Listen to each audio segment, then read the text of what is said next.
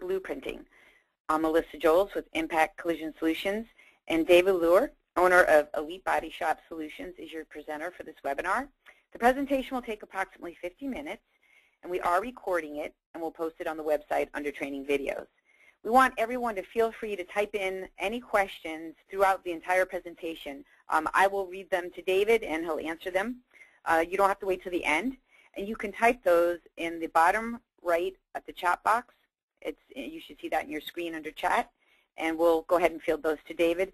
And everybody on the call, we just want to say there are no, um, there's no such thing as a bad question. So don't hold back. Feel free to um, type away. Um, and with that, I'm going to turn it over to Dave. Well, thank you, Melissa. And uh, I appreciate all the RDA Impact uh, members joining us today. Appreciate you having me back. Um, blueprinting is a uh, subject that uh, I've been involved in for a long time, and it's something I'm very passionate about.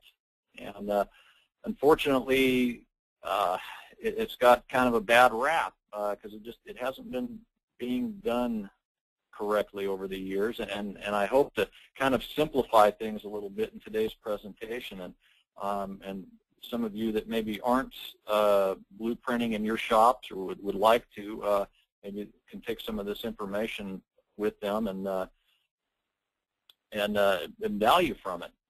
So I wasn't even going to put this slide up. What is blueprinting? I'm I'm pretty sure that most everybody on the on the webinar knows what it is, but then there then again there's maybe one or two that that don't know what it is. So I'm I'm just going to take a second to tell you. Um, it's also been called, called damage analysis, uh, repair planning. There was a paint company that coined the phrase X-ray repair planning, and, and uh, there's a big MSO that calls it pre-op. But it's basically just the process of meticulously disassembling a vehicle and then creating a, a blueprint or, or, a repair plan by capturing 100% of the damage uh, one time. So it, we're doing it one time the right way, and that's that's kind of what blueprinting is. And uh, why is it important? You know, in the collision repair business, the only time the shop makes any money is when the technician is actually working on the car. So in order for a shop to optimize profitability, you've got to have systems in place that are going to ensure that wasteful delays are eliminated. Some of the more common delays are things like techs wandering around looking for parts, fasteners, or information. I'm sure most of you out there can relate to that missing, damaged, or incorrect replacement parts, just waiting for approval and, and parts on supplemental missed damage. So a great way to reduce or eliminate these delays is through the process of damage analysis or, or blueprinting.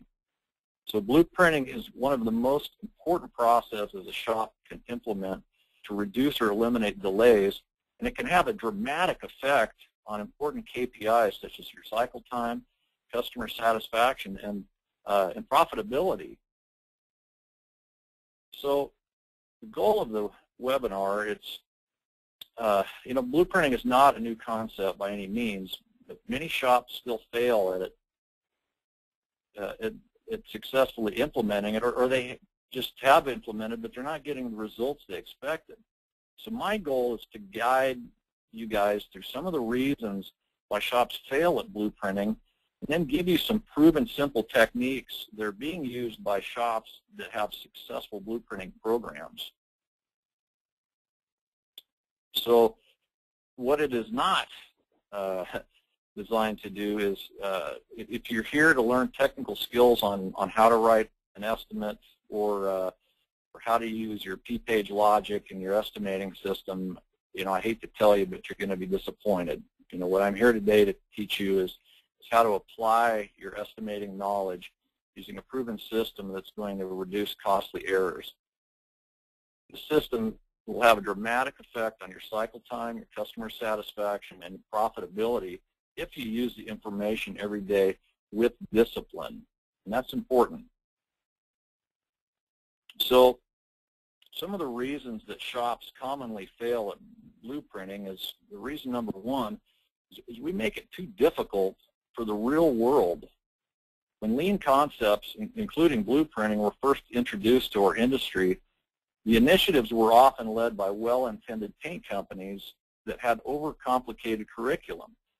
So, you know, back 10 years or so, it, you know, lean was the new kid on the block, and it came with a lot of bells and whistles, too many bells and whistles. And when concepts such as these are taught to us by people from the manufacturing industry from a 30,000 foot level, many of the basics were overlooked or possibly misconstrued. So as the years progressed, most people stopped doing blueprinting. There was a lucky few that figured out better and simpler ways of performing it. Those that were successful found ways of using lean thinking and applying it to blueprinting in a real-world manner, a manner that would work on the shop floor and not from a philosophical 30,000 foot high vantage. So reason two is, you know, as somebody that's been teaching blueprinting for many years, I hear excuses all the time why damage was missed during blueprinting. One that kills me is, we are only human. So tell that excuse to a, a brain surgeon or a Blue Angels pilot sometime. The point is, is that yes, we are human, so in order to be successful at blueprinting, we have to put systems in place that make mistakes visible so that we can catch them before it's too late. So this is an old trick introduced by uh, Mr. Shingo. You see his picture there. And this mistake proofing is a technique called poka-yoke. So if you want to have a successful blueprinting program, mistake proof it by using some of the poka-yoke techniques that I'll share with you later on in this webinar. I like the picture of the uh, shoe with a cell phone in it. That is a, uh, uh, a poka-yoke device. If, if you don't want to forget your cell phone, put it in your shoes. It's just a kind of a random example I found that uh, kind of amused me a little bit. So there's Mr. Shingo. So the lucky few that were able to achieve blueprinting success at some level often doomed the process from future success by not carefully documenting the blueprint system they work so hard on into a standard operating procedure. Because of this lack of standardization, the program was susceptible to failures caused by you know, hiring new employees, simple memory lapses, or many other reasons. So if a process has simple written instruction and people are well trained, the likelihood that the vital steps needed to produce a consistently accurate blueprint is increased immensely. Reason number four. I uh, usually get a little uh, pushback on this reason, but it's it's very true from my experience. You know, technicians are hired to repair vehicles, not write supplements. To this day, most shops continue to ask their body technicians to perform a teardown and then write a supplement. This is not blueprinting. Please keep in mind, you know, like I mentioned earlier, the only time a shop is making any money is when the technician's hands are touching the car. So if we ask them to perform supplement writing for us, we're not only inviting problems, but you know, we're inviting problems with estimate accuracy, and we're not making any money doing it. So, you know, the technicians are a very integral part in the blueprinting process. They can offer a lot of insight in, into good damage analysis. Their involvement should be limited to the collaboration during the disassembly plan and damage analysis, then disassembling the vehicle and placing the damage or the R&I parts uh, in their designated areas. And I'll kind of touch on that a little bit uh, more here in a few minutes. So common misconception. I'm going to give you a quick lesson on uh, theory of constraints. The reason that a lot of shops say they don't like having a dedicated blueprint department or a blueprint analyst is because it often causes bottlenecks and delays. So all the repair jobs have to go through one resource. So by definition, the blueprint guy is a bottleneck. But here's what some people don't understand. Every system is going to have a bottleneck that dictates the shop's throughputability. Excuse me. And that's okay. The problem is, is that shops continue to bring all their work in on Monday.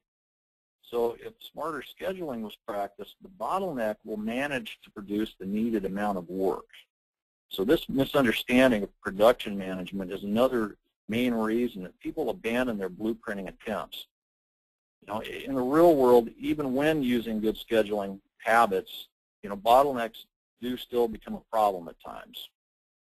When blueprinting starts getting behind schedule, it, it becomes extremely important to still stick to the program with discipline and not abandon it. Instead, additional resources, or you might consider, you know, extended hours uh, occasionally, you know, when the need dictates.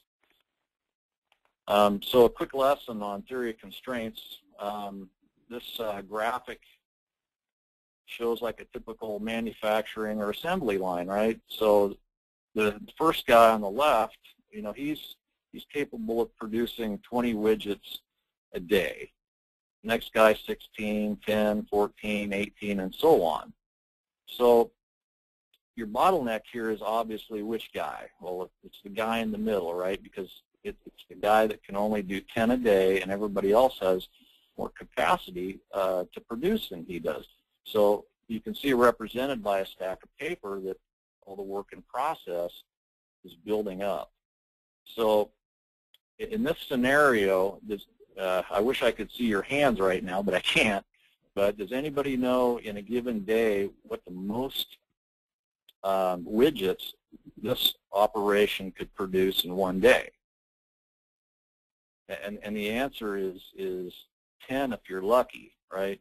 So that's kind of how theory of constraints works. So if you want to keep an even flow, what you have to do is schedule work in as your bottleneck guy. The guy in the middle is able to get it done. And that's kind of what uh, very basics of theory of constraints. So uh, here's our first place to put uh, some questions in if anybody wants to uh, ask a questions about why shops fail at blueprinting. Melissa, I don't um, know if you've got anything yet. I, I don't. I don't see anything yet. But if anybody, um, you know, as, as Dave continues, you can type them in, and I'll, I'll um, interject them to you, Dave, if I get any. Yep, and we'll, we'll stop several times throughout the presentation. It kind of breaks things up a little bit for me. I actually prefer it. So, um, okay, well, let's, uh, let's go ahead and move on. Um, and uh,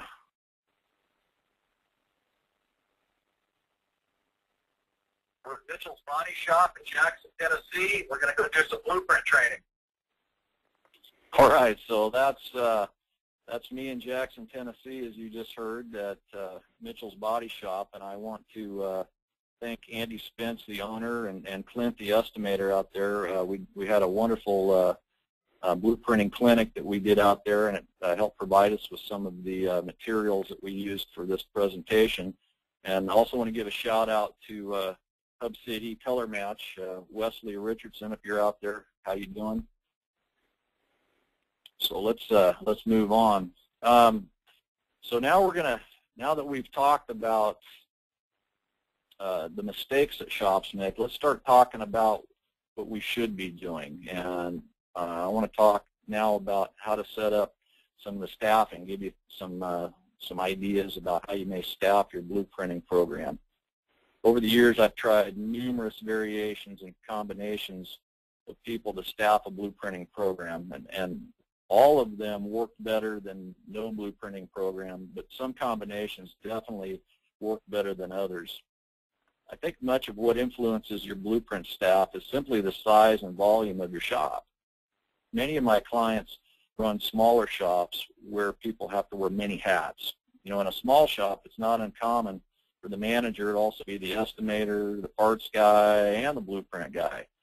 It's pretty easy to determine how to staff a really small shop, but what about one that's a little bigger? I recently worked with a client that had two estimators, and one of them liked being in the shop, and the second one was better at dealing with customers. So we moved one of them into the shop to be the dedicated blueprint analyst, and then the other one efficiently handled the entire volume of customers as a customer service manager. You know, because now he's not running back into the shop, putting out fires all day long. He can just focus on being a good customer service manager. So you may need to experiment with different staffing combinations to make it work for your unique needs.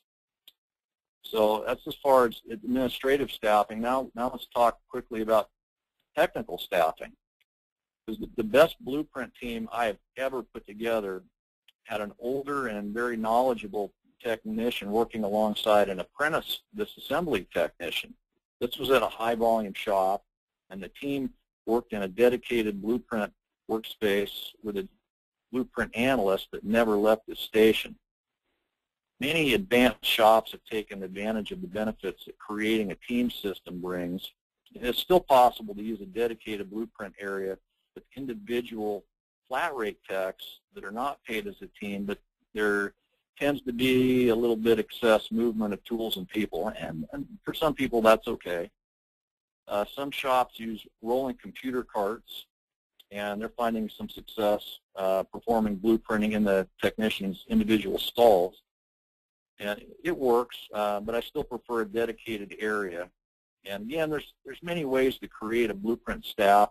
And each shop is going to be a little different than the next based on factors such as skill level, shop size, personalities, et cetera, et cetera. So just don't fall in the trap of believing that your shop may be too small to be successful with blueprinting. I've analyzed damage in space from 2,000 to over 60,000 square feet, and the practical application is still the same.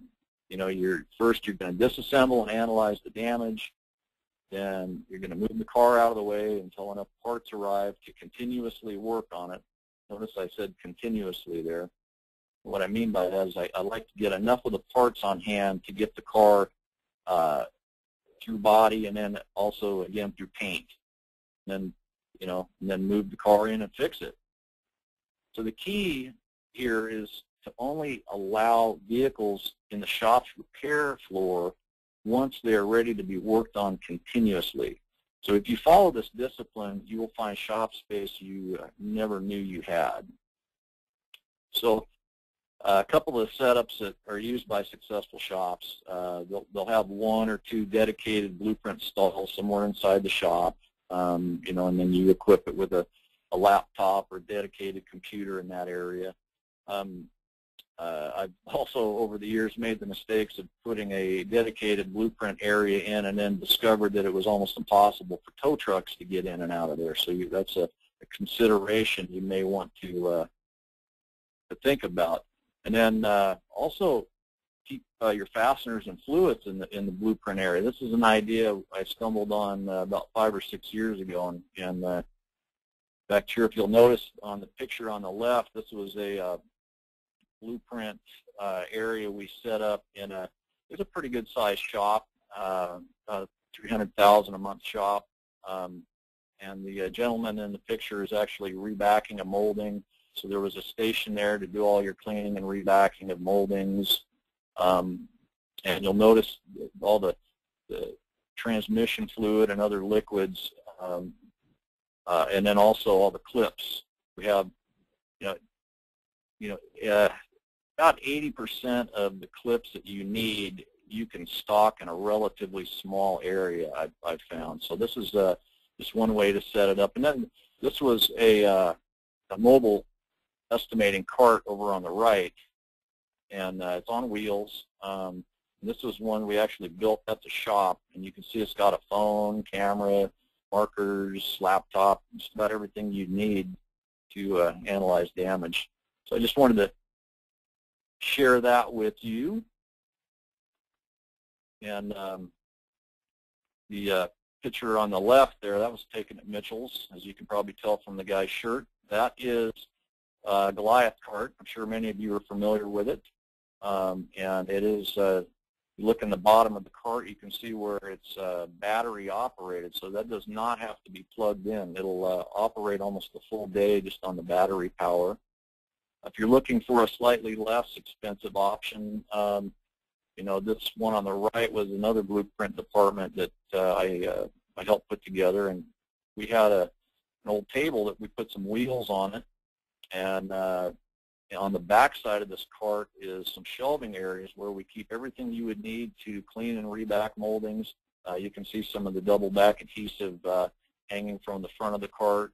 Um, so those are just some some cool ways. I, I honestly believe you could set this up, uh, you know, very inexpensively in uh, just about any shop scenario. David, um, Yeah, yeah. look, look, looking at your presentation here, I'm seeing that you don't have to have a fan, you know, a lot of fancy equipment. So it looks like any shop can put this together pretty easily.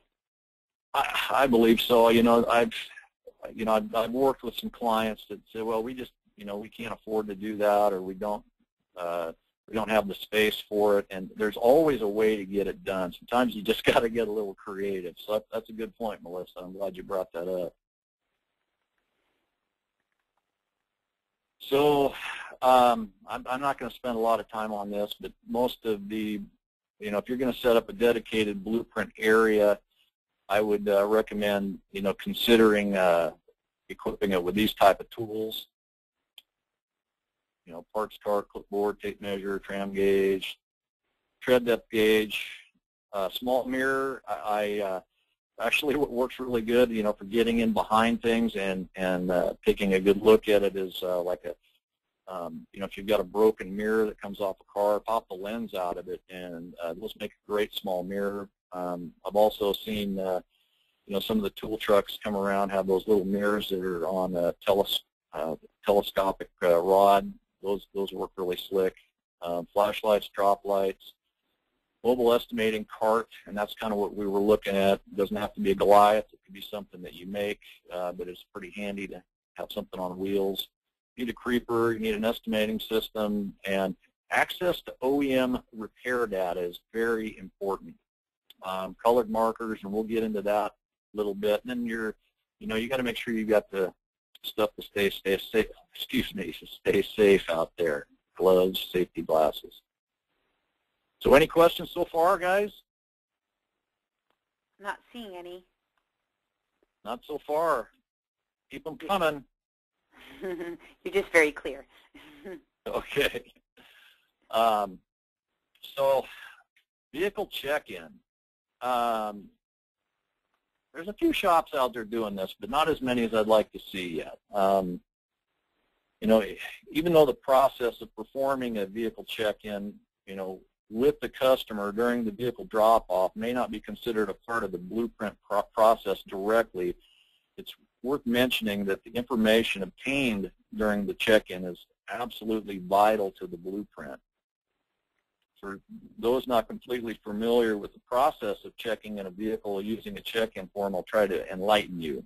So with the customer present during the vehicle drop-off at the shop, this process involves walking around the vehicle and communicating and documenting some of the following things.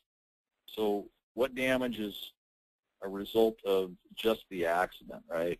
So is the is that damage uh, related or not? You want to find that out. Unrelated prior damage, if so, uh, you uh, want an estimate to fix that. It's an excellent upsell opportunity. If you're not doing a check-in, you miss out on those things.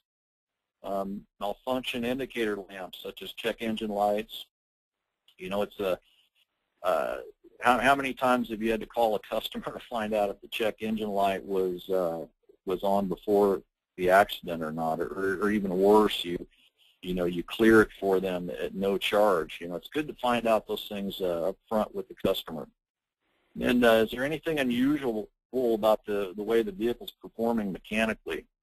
And then touch-up paint and other freebie promises. Those are things that we want to talk about up front, and those seem insignificant, but you know the, customers are really paying uh, money to get it their car restored like it was before. It's not really very exciting. So if, if there's something like touch-up paint or something that that uh, they've asked us to do, and if we forget to do that, it's a real turnoff, and uh, it can and it can affect your CSI scores and, and the customer retention. There's no doubt about it. So include that as part of your your check-in process. Um,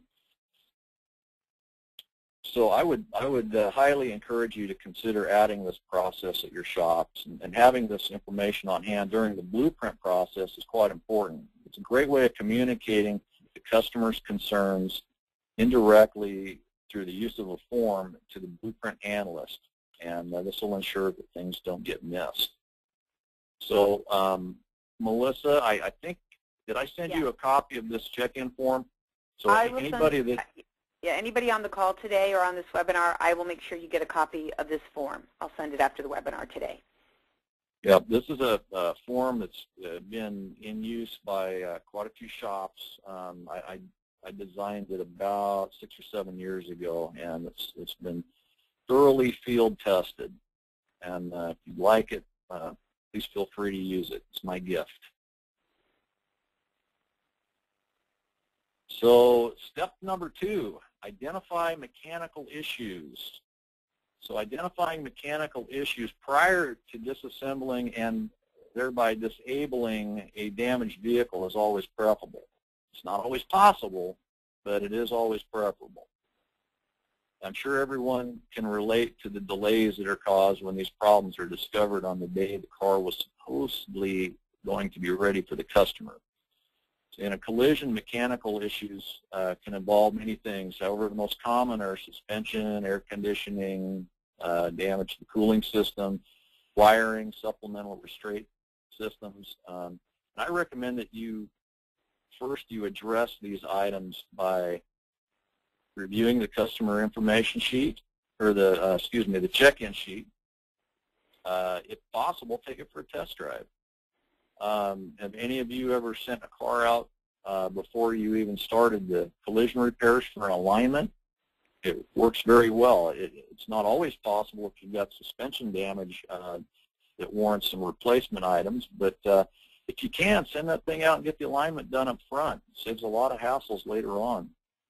Um, using a scan tool to help diagnose trouble codes, and uh, always ask the customer how many passengers were in the vehicle especially if there were restraint systems uh, that were deployed. So check those seat belts. And check the interior electronics, your heat, your air, radio, and uh, also your fluid levels. So step number three, this seems like a, a no-brainer here, but you wouldn't believe how many shops don't do it. So how many times have you guys on the webinar seen a technician take the front bumper off of a car that was in the shop to get the rear bumper fixed? Well, let's see a show of hands. Probably too many times, huh? So this isn't really a complicated step, but it's one that's often skipped with costly results. Shops need to include this step as a standard operating procedure and also hold people accountable because the technician must be properly informed prior to touching even a single wrench to the vehicle make it part of your program to have the estimator go over the check-in sheet with the technician and also review the estimate if one had been previously prepared. So use the next step, which we're going to get into it called visual mapping, to help with this communication. It, it'll clearly indicate what parts need to be removed in order to properly analyze the damage. So a great form of communication between the blueprint analyst and the disassembly tech is the use of uh, colored water marker to write on the vehicle. In a real-world body shop, it can sometimes be difficult to pull the technician aside for you know, extended periods of time to discuss all the, the details of this assembly. So using this technique by writing the instructors uh, instructions on the car in advance, uh, you know, it'll it'll, really help you out. So this technique can also be used by the customer service rep that is identifying the damage during uh, the check-in process.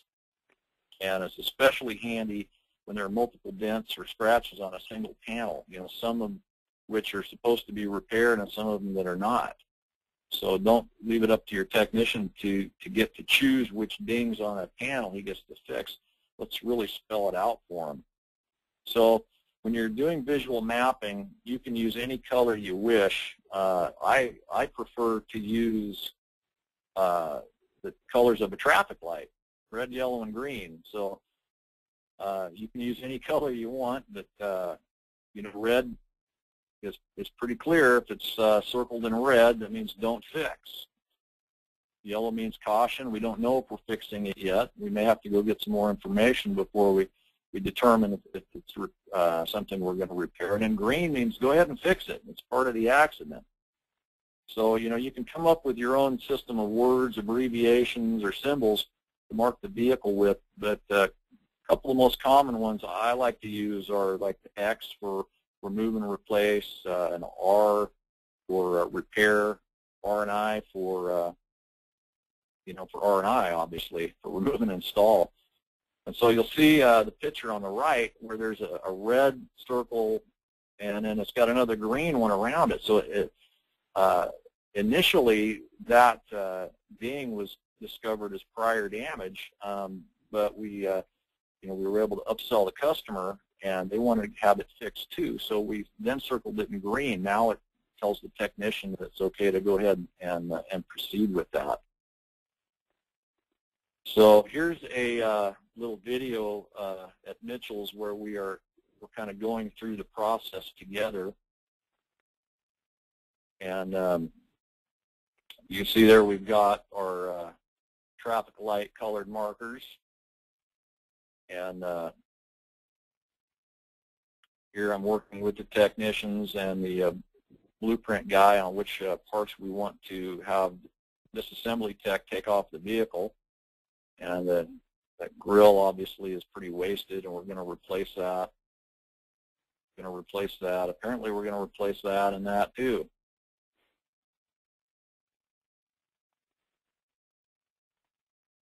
Then moving on to the fender, uh, we've got a, a, few trim pieces that we're going to need to uh, remove and install. It was a shop decision that they could reuse that emblem.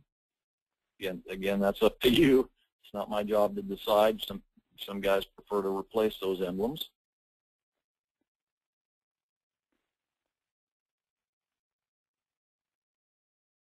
But by clearly marking all this, you know, as the technician works through his disassembly process, he'll know exactly what needs to come off. There's that dent again that we were able to upsell. Notice the uh, the uh, green surrounding the red and then the damage to the front of the door, which was part of the accident.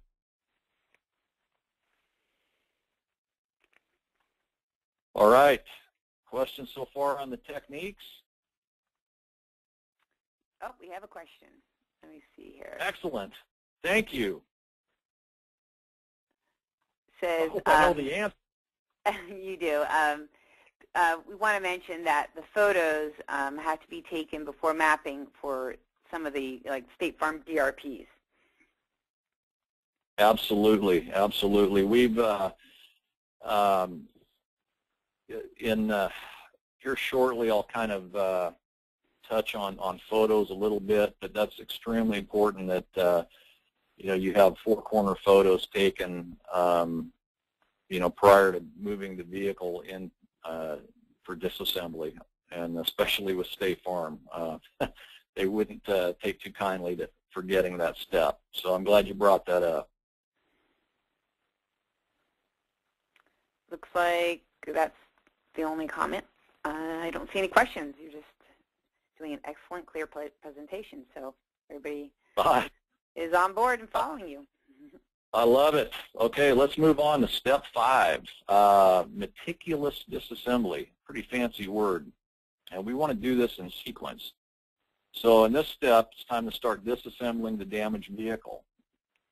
And uh, if you're lucky enough to have a dedicated blueprint analyst that will be keying in the estimate as the technician removes the part, it will be much easier to remove the parts in approximately the same group sequence as your estimating system parts group. For example, in your estimating parts group, you've got your bumper, your grill, and your lamps. Um, of course, this method's not always possible depending on the vehicle and uh, the damage, uh, but when it is possible, you'll find that removing the damaged parts and entering the damage into the estimating system with both people following the same group sequence uh, definitely make your life easier, and I'll explain a little bit more of that in an upcoming step probably heard the term meticulous disassembly or 100% teardown. This refers to the practice of taking off every damaged component that is bolted or otherwise fastened to the vehicle. This practice should not only include damaged parts, but also parts that are being removed from blend panels or that need to be removed for access. Damaged assemblies such as bumpers should not only be removed as an assembly, but should also have all the, the grills, lamps, moldings, fasteners, all that other stuff removed as well. There's three main reasons that 100% tear down is, is recommended. You know, first we want to we want to reveal all the hidden damage. Uh, we, we've got to get it on the repair plan. We want to also ensure that the fasteners that we're removing are, are going to be able to be reused. Um, sometimes they'll break. Um, and third reason is, you know, we want to facilitate ease in mirror matching later on. So when the when the parts come in, it's a lot easier to uh, to mirror match against a part that is uh, not bolted underneath a bumper somewhere that's hidden. So that's one of the, the reasons we like to do that. And then, uh, of course, you want to take photos prior to disassembly on, on complicated assembly. So, you know, it's, one of the things I get a little bit of pushback on is, you know, this bumper is really going to be hard to put back together if I take it 100% apart. And, you know, through experience, I found that, you know, these guys are more capable than they than they think they are in, in some cases. Um, and if you take some some good photos prior to the disassembly, it, it does help them put it back together. So step number six, as the technician is disassembling the vehicle as described in the previous step, the parts being removed should be separated and placed into two visually separate spaces. Now this might be a, a new, hopefully this is a new concept to some of you guys that have been uh, experimenting with, with blueprinting over the years. So you've got one space for damaged parts, the bad parts, as we like to call them, and another for the parts that are just being removed and later reinstalled, your good parts, R&I parts. So I prefer to use a table to lay the parts out on, but you could also use the floor or a combination of the floor plus a table. You can see in the, the photos down below, there's a couple different, uh, I think there's a couple different shops I'm using the photos from, and, and it's just a, like a six-foot table. I, I really like the six-foot tables that fold in the middle. They're easy to uh, move around and get out of the way if you're not using it. So clips and fasteners and baggies.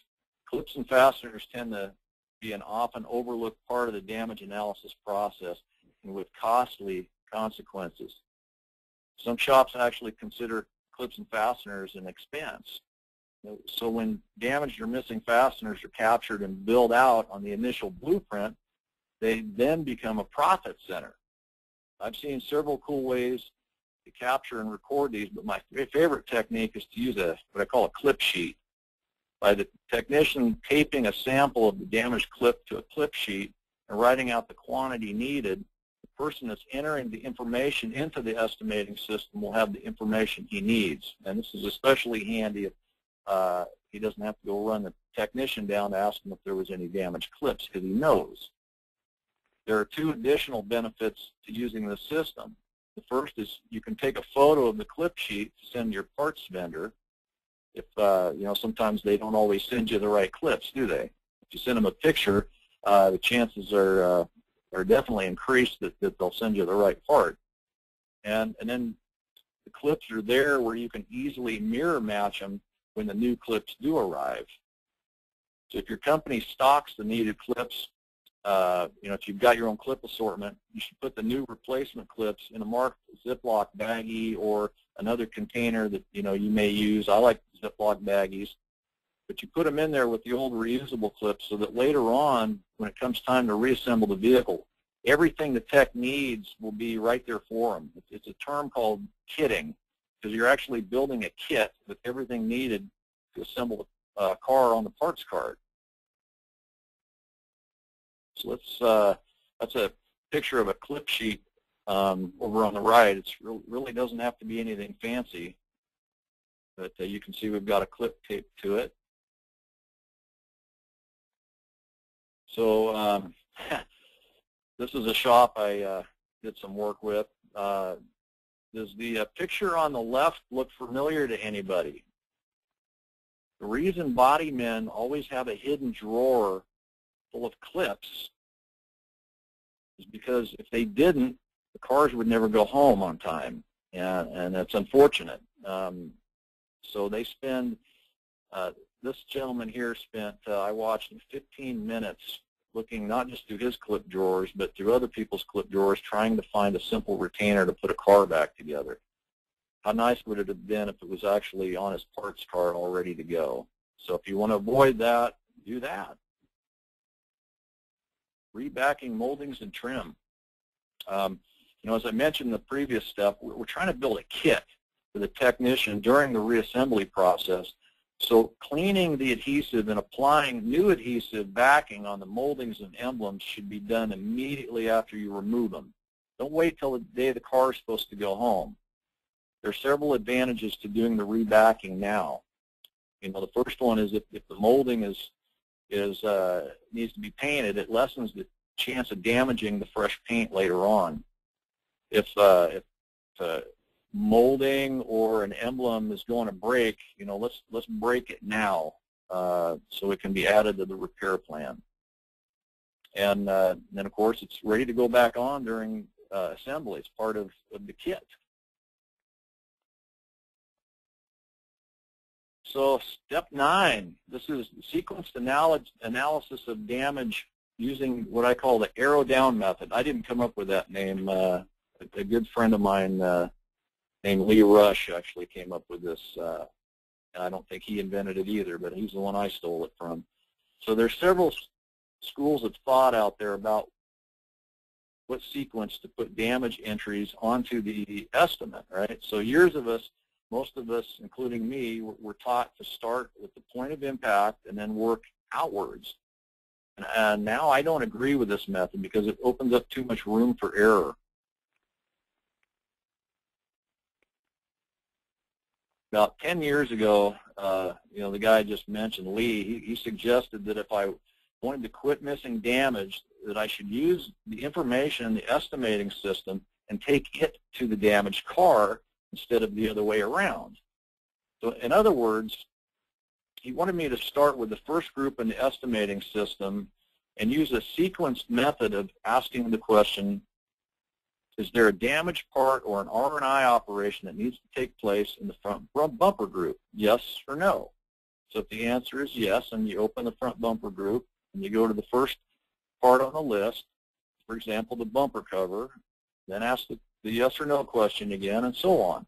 So by keying down through every part in each group, you'll now catch parts that may have been completely destroyed or torn off during the accident. They were, they were missing. So in addition to this method, I also highly recommend using actual OEM diagrams. Um, you know, the, the, estimating systems, I think they're getting better, but, you know, the OEM diagrams, if you've got, you've got a, a schematic, got all the parts specifically for that vehicle, and it, it is a better way to go. So I, I recommend using them in conjunction with, with one another for sure. So by using uh, this method, uh, Mr. Shingo over said Poka-yoke, right? that's uh, that's the process of eliminating errors.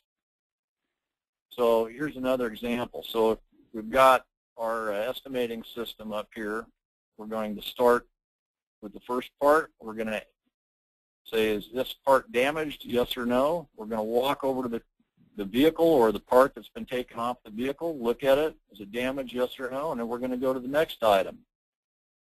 We're going to ask then, are the clips okay, the fasteners, the sliders, and so forth. So that's, it's kind of backwards thinking from uh, how uh, many of us have been trained, but it's, it's well worth the effort.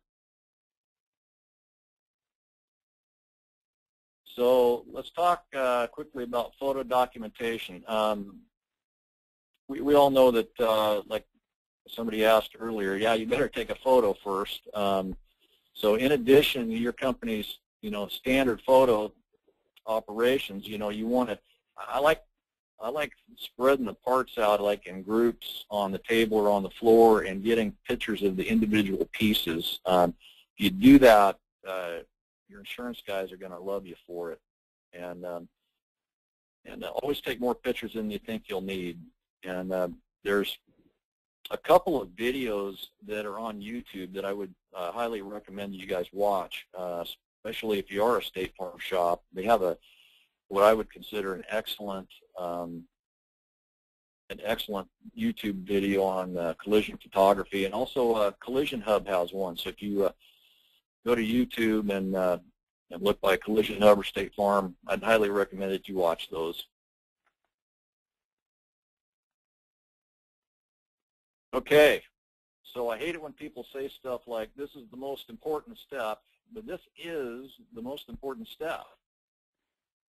Going to ask you to print the estimate out with a pen, check off each damage entry on your estimate as the corresponding part is loaded onto the parts cart. You guys were probably wondering when we were going to start loading the cart. Well, now's that time.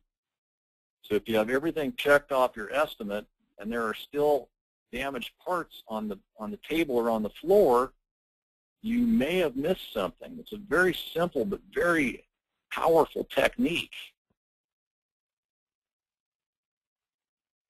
So you'll finally, you know, be sure to place the parts in the same manner as discussed in a, the earlier step when you're loading them on the cart. You want to divide the good and the bad parts onto the cart. And this makes checking the replacement parts for correctness, you know, your mirror matching process, a ton easier to do. My philosophy that if a task is critical to your success, you must make it easy to do or, or it won't get done. So very few parts guys are willing to search to the bottom of a messy pile of parts to perform mirror matching. So if it's easy to find, it'll more likely get done. So let's see what we got here. We got a video. And uh, this is uh, during our uh, blueprint clinic. And now we're going through the verification process. And uh, Clint who's doing the uh, the blueprinting as the analyst. He's uh, working with the technician, and he's he's basically hollering out the name of the part. The technician's loading it onto the cart, and he's uh, checking it off. So they're kind of working in tandem as a team here. So it just kind of depends on how you want to do it. Sometimes the uh, blueprint analyst can load the cart himself. And so, see, they're putting the uh, the uh, bad parts or the replacement parts on different shelves than the good reusable parts.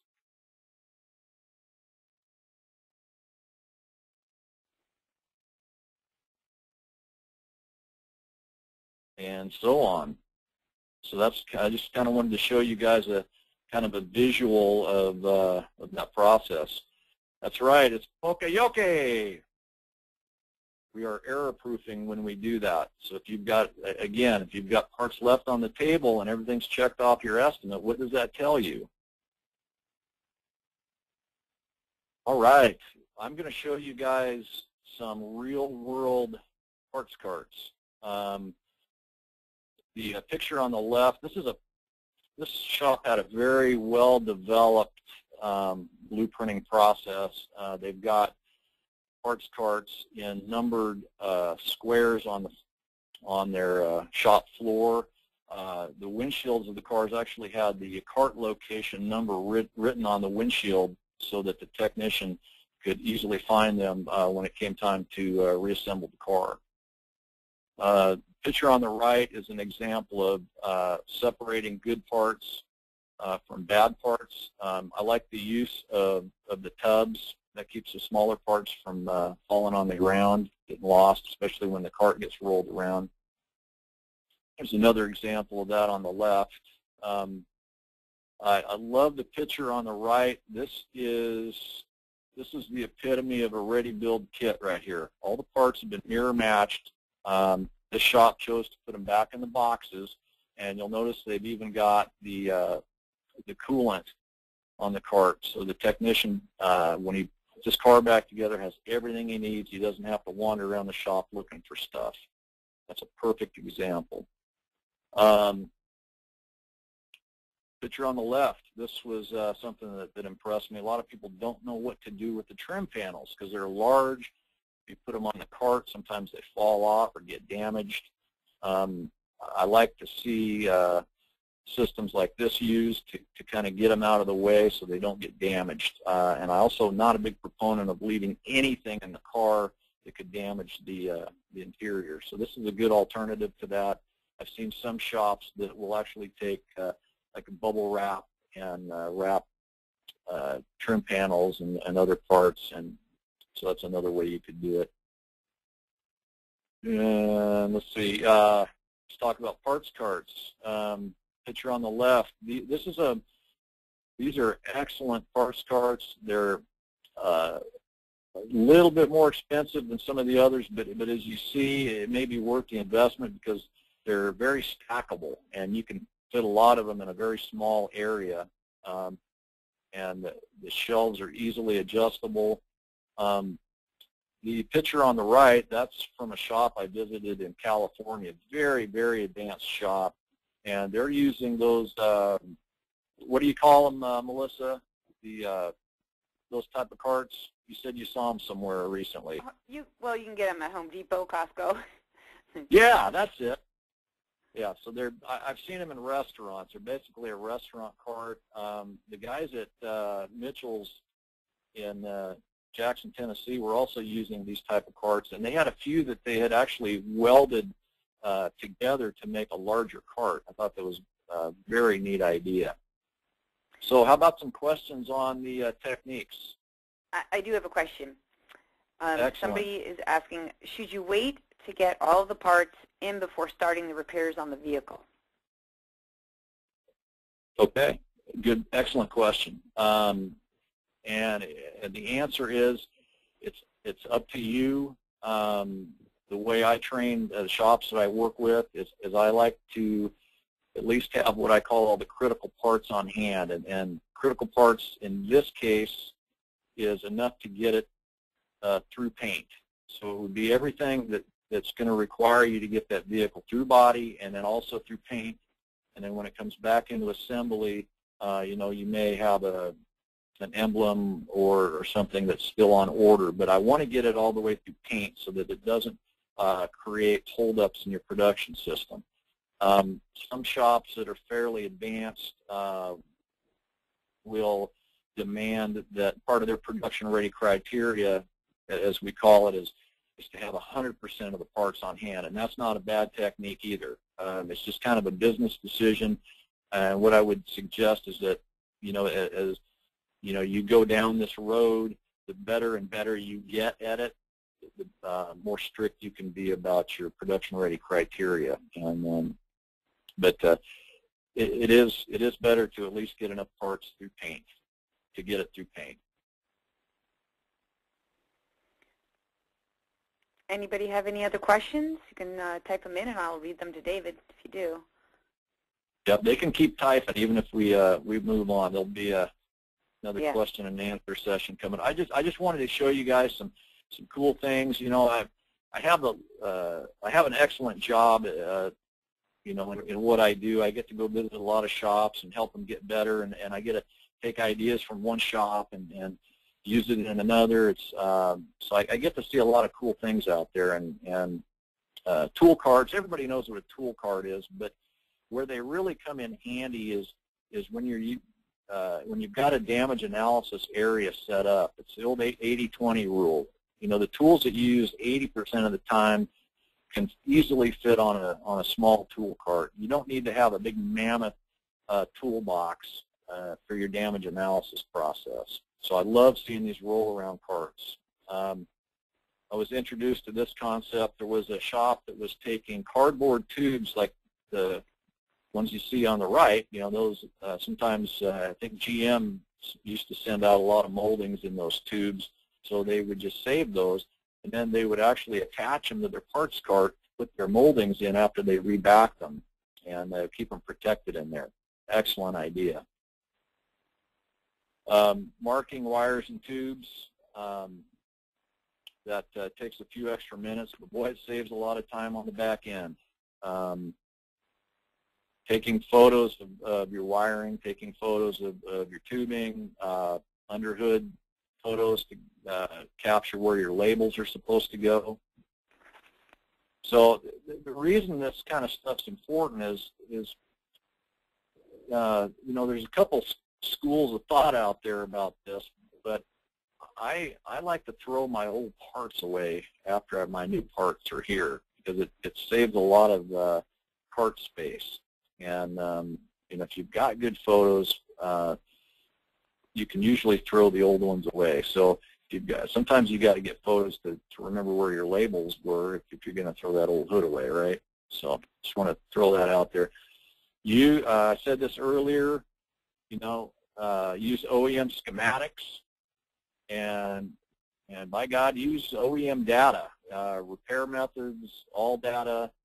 Um, you know, this stuff is is more critical than ever uh, with the technology these days to uh, make sure that we're repairing these things correctly, and it also helps us throughout the blueprinting process make sure that we're analyzing the damage correctly. So, want to use that stuff. Ten-step sheets.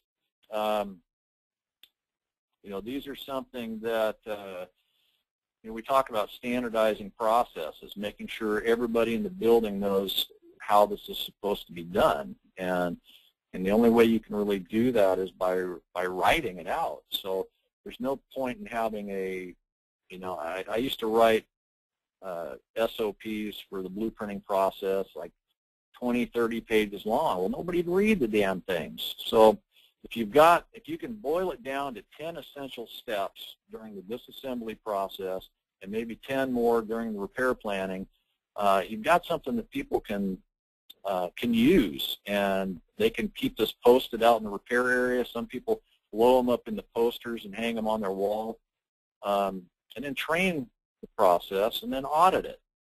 Uh, you got to make sure that uh, you know people are going to do these things uh, continuously because if they do these 10 things on every single blueprint that they do, your success rate is going to go through the ceiling.